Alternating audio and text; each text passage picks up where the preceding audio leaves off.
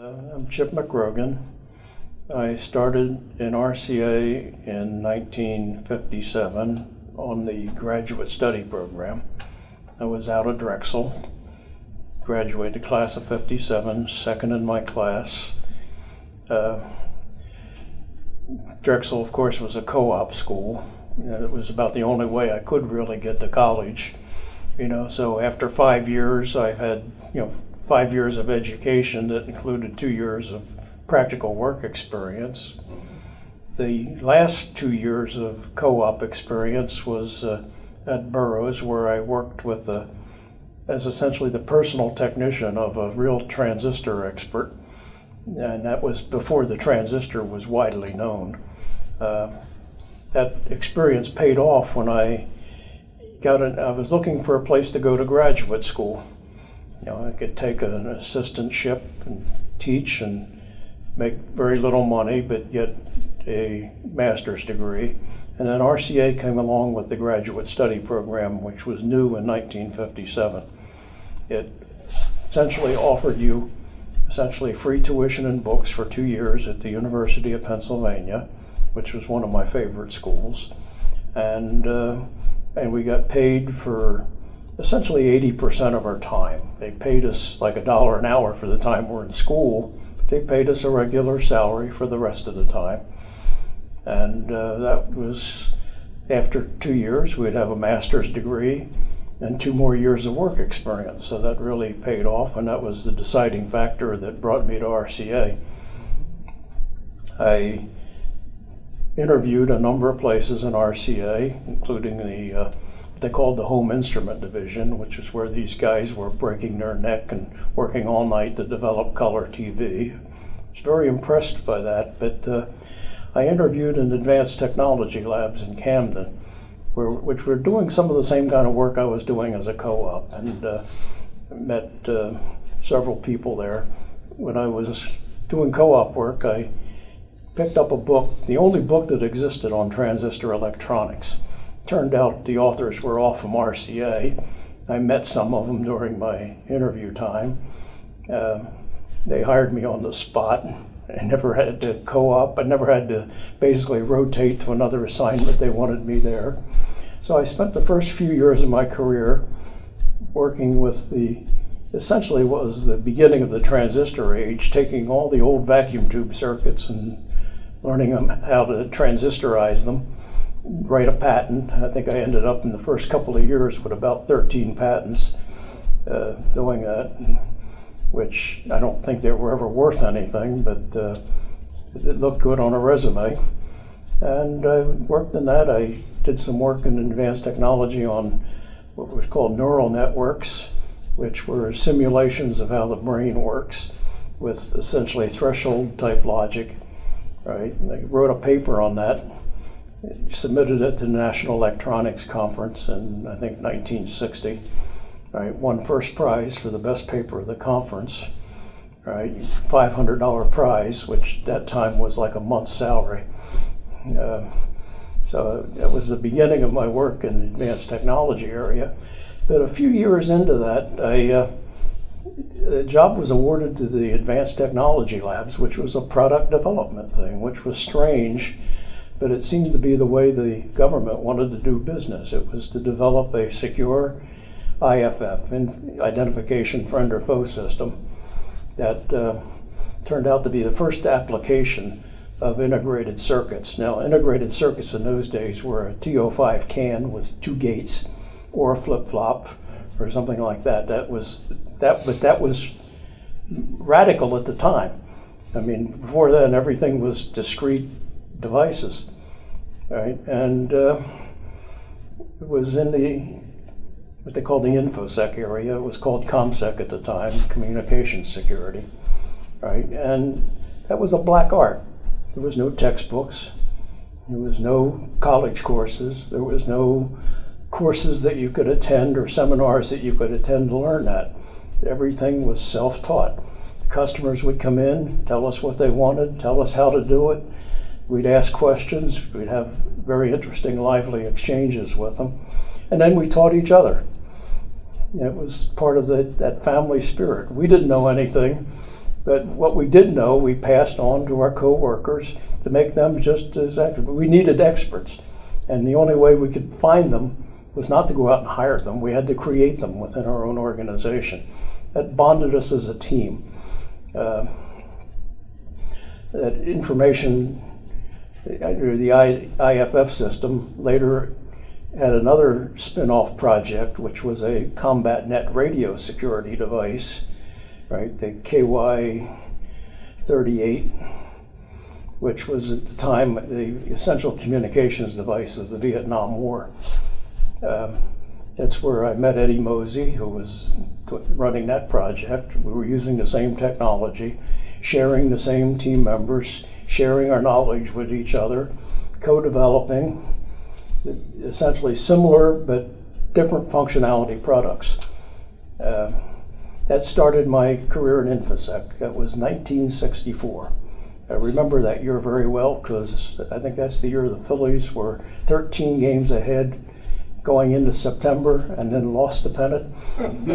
I don't think any of us will ever, any, any of us local never. Philadelphia people will never forget that year. Nor, or Gene Mauch, who was the manager at the time. But that was the year I started in the InfoSec area, and that basically was almost the rest of my career.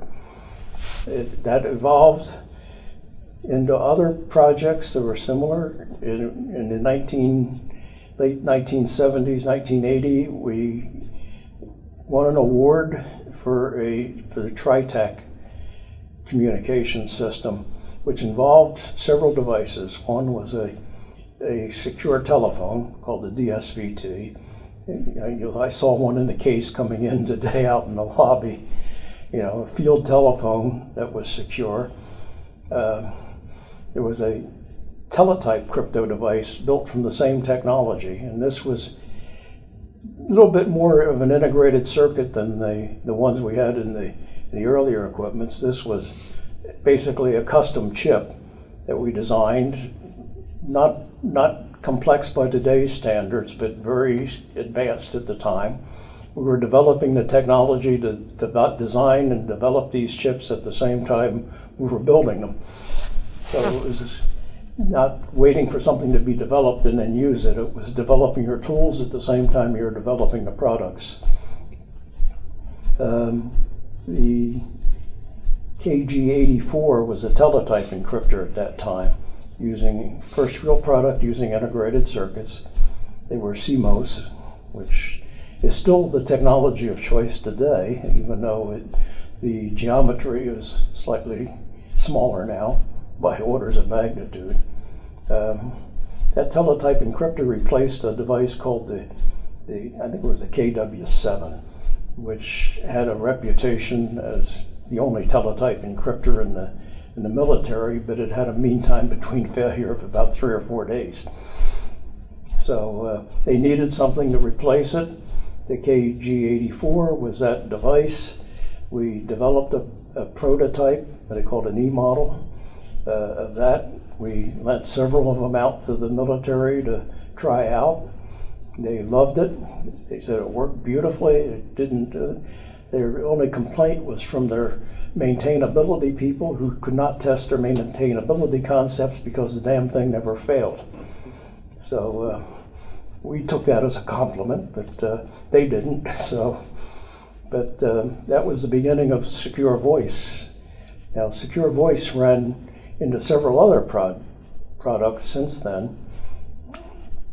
Um, one of them was the Stu 3, which was the first time we were really developing and working with other contractors to develop a similar project, similar product.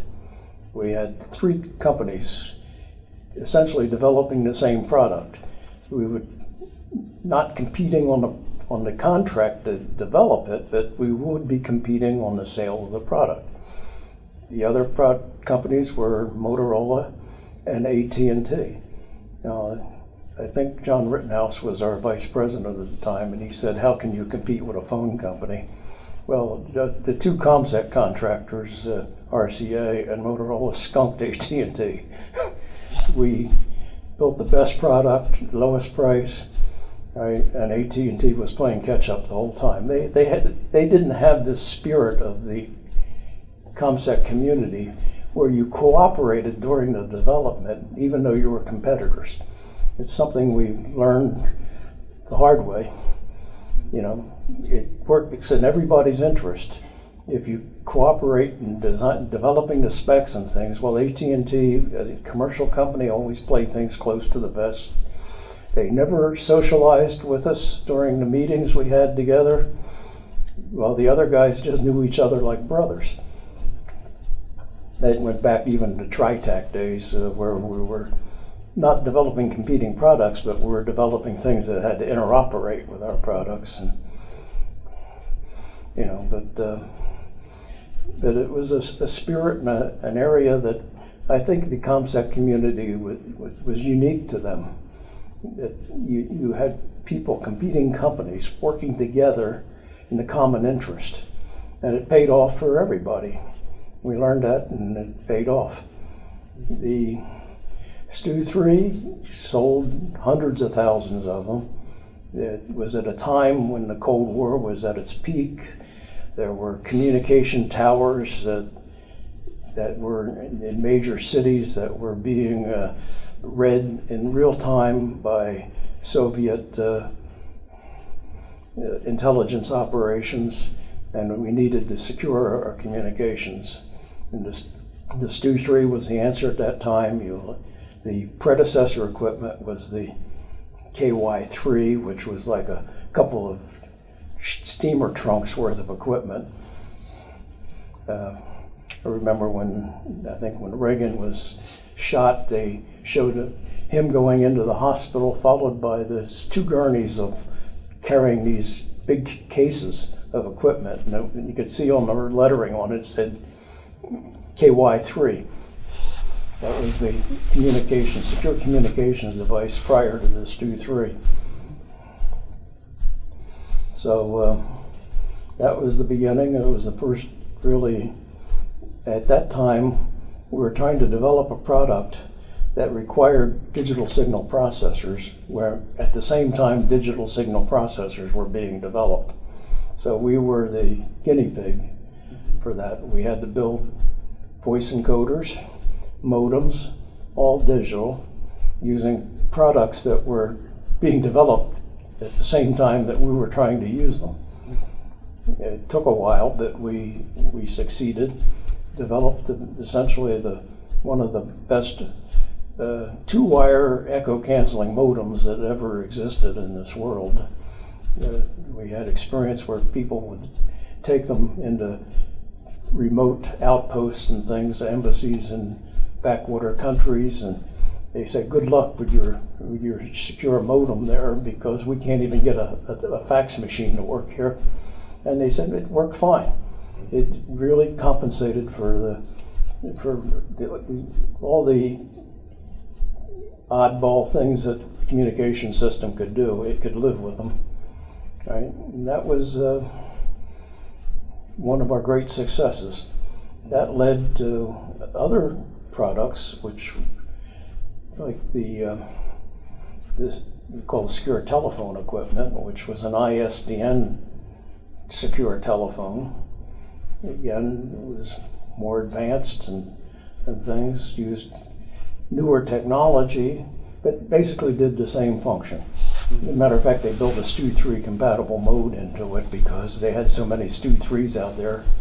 They still had to talk to and they couldn't replace them all. So that was the, the whole history of that. Again, we were working with other companies very similar, the same ones we had worked with before, cooperating on a common specification that would work together. They had to interoperate and uh, you know, we just had that community spirit, not only within ourselves, but within the community of interest, which was small, but uh, very significant. Uh, the process of doing this work was still black art, no textbooks, you know, no published papers to go on. uh, the modems and things and the voice coders were pretty much open technology, but the security aspects were still a black art. I worked with the customers, learned from the customers. Yeah, now you uh, were in a kind of a unique position. You have basically become essentially a national asset. You're you're the person who taught the other people as we came through the whole ComSec area. That was really part of the joy of doing it is taking somebody raw to the business, teaching them, do it. We had some of the most rigorous design reviews you ever saw. Mm-hmm. They were really bloody, but nobody. It wasn't vicious. It was educational. People learned, you know, and we taught them, and then they taught others, you know, and it was, you know, it was a close knit group of people. They. Uh, we had our fights internally, but nothing vicious. It was all friendly thing. You know, things that you wouldn't do today. We make ethnic jokes to other people on our team. But today, in this day in the world, that's that's not even allowed or permitted. But it was friendly, you know, and nobody took it seriously, and uh, it was a it was a form of bonding and friendship. As you were a younger engineer, did you feel like you had any mentors? A lot of the mentoring came from the customer, Mm-hmm. right? Uh, there was no real technical expertise to draw on, but there was some good management and marketing expertise we had. We got a lot of the business sole source because of the personal relationships that were formed between our team and the customer's team. Mm-hmm. And you were in the forefront of that. Yeah, well, you know, we went with them, right? We'd go to a meeting, marketing guy would take us, he would get us in the door, we'd sit down with our counterparts and work out things, and they liked us because they didn't really know what they want, and we didn't know what they want, and it evolved over the course of the program. But there was none of this, uh, let's rewrite the contract every time they wanted to change something. It was, we're working together to solve the same problem, right? And let's work it together. You help us with our problems, we'll help you with yours, right? There was no, uh, you know, lawyers sitting in the way of impeding progress. It was, uh, it was good natured. Uh, let's work. We're a team. We're a team with the customer. We're a team with our, even with our competitors. We're, we're all working the same problem, and it's a, and it's in our common interest to solve the problem. And you had some significant competitors. Oh yeah. How do you feel the customer looked at RCA? I think they liked us. We got a lot of sole source awards, or at least two source or three source awards. Mm-hmm. Right? We didn't have to go run out and compete with upstarts. As a matter of fact, it was hard for an upstart to get into this business because of the of the lure and the culture of not only working with this customer, but the technology itself was essentially hush hush. You know, wasn't published. We taught each other, we taught our coworkers, and they learned from it, and they and they then they became the mentors to the next generation. Uh, And what about your supervisors? they never got in our way. That's all I can say. I eventually became one of them for a while, but then I, I didn't really like that aspect of the job and went back and became a staff engineer. So you're saying they just let you do your work? as long as they were happy, they, I mean, I had some tough supervisors. I think you heard Charlie Schmidt's mention name, but uh, had a lot of people he hated and he was hated, but I got along with him fine because he, he let me do my job. He- If I disagreed with him, he accepted me, my opinion, rather than his own. Yeah, Charlie had a reputation for as a very demanding person, but the people who produced always seemed to like him. Oh, yeah.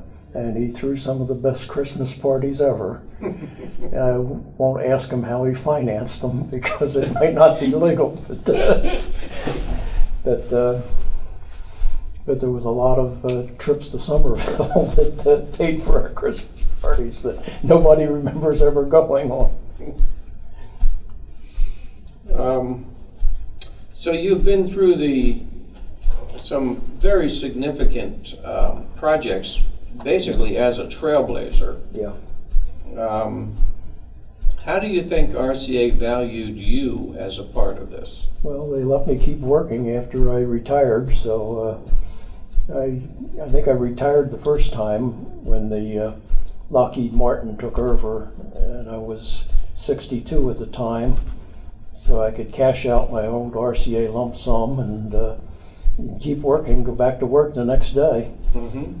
with another company. Worked there three more years till I was 65 and retired again, and then worked as a uh, as essentially a full-time consultant for a few more years, and I think that I really worked in. I, I kind of phased into retirement gradually, which is probably the best thing. I phased my way from full-time to part-time to just call me when you need me sort of thing right? And that was that went on until about two years ago when I decided uh, I've had enough and uh, stopped coming into work. But that was retirement. It wasn't sudden. It was gradual, and enjoyed every minute of it. Now, as an observer of what we used to call, refer to you people as the cryptographers, um, there were some rather unusual people in your group. Did you notice that? I was probably one of them. uh, I didn't think of them as unusual, but uh, but everybody had their own personality, and everybody accepted the way everybody else was. And we could insult each other till, till we turned blue in the face, and and get together and work on solving a common problem the next day. It was just part of the, the team spirit. Okay. What would you say was the best thing about working for RCA? I, I think it was the fact that we wanted to be the best, and we tried to be the best. Sometimes we succeeded, not always, but uh, but uh, but it was always a team effort. Everybody contributed. Everybody got credit. You've heard some other people talk about the transitions from RCA into GE into Martin Marietta. How did that affect you? Well, I I think there was an era there where they I think they called like harvesting the seeds that we planted, right? And that went on for a while, and it, it didn't really result in any growth, right? And then all of a sudden we kind of found out what we were doing right in the beginning and went back to it, won some new opportunities. Mm-hmm. Our, the my age 65 retirement was September of 1999. I retired on the day we submitted a proposal for something called ACTS that I had worked I had worked on that proposal. I was retired and taking a, a long vacation. I was over in Spain with my wife and we got a call that, hey, we won that program. right? That program went on. It started out, I think, as maybe a hundred million, and it went on to hundreds of millions of dollars. Mm-hmm. Right? And I remember doing consulting by phone when I was away, and uh, working on it when I was here, and uh, that was one of the classic type programs that was our roots. It was a replacement for the Milstar system with secure communications, basically for Milstar. But it was it was one of the type programs that we had done before and did better than anybody else, and and I think the customer loved it. Um, I asked what was the best part about working for RCA. What was the worst part about working for RCA? well, I guess the the Camden environment was never impressive. It, it didn't bother me, but it made it hard to get other people to come. We try to hire somebody, and they'd have to drive through Camden to get here, and and they say no thanks. But it never bothered me. I mean, I I just got used to it. I guess developed a thick skin. Do you have any opinions on the assertion that RCA may have actually changed South Jersey? I think it was South Jersey when I come up. I mean, it was. I mean, nowhere you went, it was RCA. You go to a gas station, sign a credit card receipt, they'd hand you an RCA pen. You know, you know, it was it was everywhere. Everybody either had knew somebody or had a family member. I mean, at one time I worked with third generation RCA employees. You know, somebody whose grandfather started there during World War II, and their children were there, and they were the third generation, all working in RCA. It was a way of life. Um, so, how would you sum up your career? Evidently, it was more than just a job. Oh yeah, it was something I, I, I couldn't. It was hard to retire actually, but you know, eventually just had, got old enough that I, I like to sleep late in the morning. But uh, but when I was working, I had thought nothing about uh, getting up at coming in before seven o'clock in the morning and going home after six o'clock at night because I enjoyed every minute of it. It was getting something done. It was useful, enjoyable, and working with other people that I enjoyed. And Well, Chip, um, I appreciate you coming in to do this. Um, and let me just say, as just having been around here and having followed your career, uh, you retired and then were asked to come back several times because they really felt you had knowledge that they simply couldn't do without. You are genuinely one of the few national assets that uh, that we can talk about, and uh, I, you know what you have done with RCA is um, is just phenomenal. So I appreciate you coming in. well, you know, part of it was uh, I go back to my training, and I, when I was in high school, somehow, if you were in the first track of the high school I went to, you were in the first track of everything. So if I was good in science and math, I also got into the first track with English and literature and everything else. So I, in spite of the fact that there were a lot of people who were better writers than I were in high school, when I got to college and work, I was the best writer among the people because, I, because of my training. And communications was, uh, was a skill that very few engineers had, right? Which I had somehow managed to hone, right, and teach. I mean, I had one coworker who will tell me to this day that I told him to write in English. he was a, you know, he was from South America originally, in Poland and then South America, and uh, and then grew up in Brooklyn and never really learned to write clearly.